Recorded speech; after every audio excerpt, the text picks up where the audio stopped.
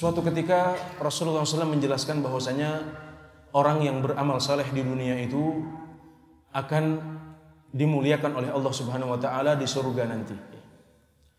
Dan masing-masing orang itu akan dipanggil dari pintu amalan andalannya.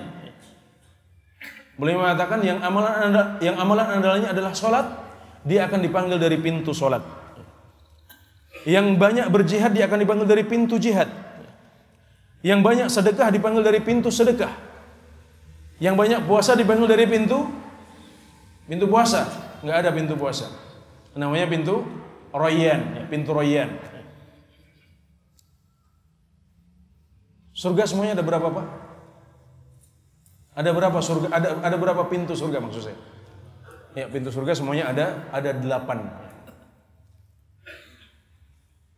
Kemudian saat mendengar hadis ini Abu Bakar As-Siddiq radhiyallahu anhu mengatakan, "Wahai Rasulullah, sebenarnya kalau seorang di antara kami dipanggil dari satu pintu saja, itu sudah cukup." Tapi saya penasaran wahai Rasulullah, akankah ada seorang di antara kami akan akankah ada di antara umat ini yang nanti akan dipanggil dari pintu surga yang delapan semuanya? Lihat semangatnya Abu Bakar As-Siddiq. Cita-citanya yang tinggi. Cita-citaku setinggi Firdaus katanya. Harus tinggi cita-cita itu. Jangan minta surga yang paling rendah, minta Firdaus ya, yang paling tinggi, yang paling tengah. Ya. Kalau kalian minta surga, mintalah Firdaus kata Rasulullah Sallallahu Alaihi Wasallam. Begitu juga dengan Abu Bakar ya, nggak cukup dengan surga yang apa adanya, tapi beliau mencari yang paling tinggi. Nggak cukup ingin dipanggil dari satu pintu, tapi kalau bisa dipanggil dari semua pintu, kenapa tidak? Maka Rasulullah SAW mengatakan, benar wahai Abu Bakar, akan ada di antara umat ini yang dipanggil dari semua pintu, dan aku berharap engkau termasuk salah satu di antara mereka itu.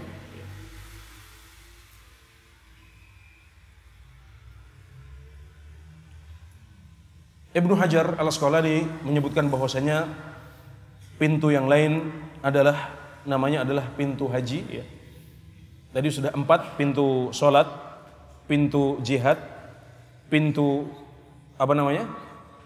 Pintu sedekah, kemudian pintu royan untuk orang-orang yang banyak berpuasa. Masih ada pintu haji, pintu kadhmul ghaid, ya, menahan amarah, ya.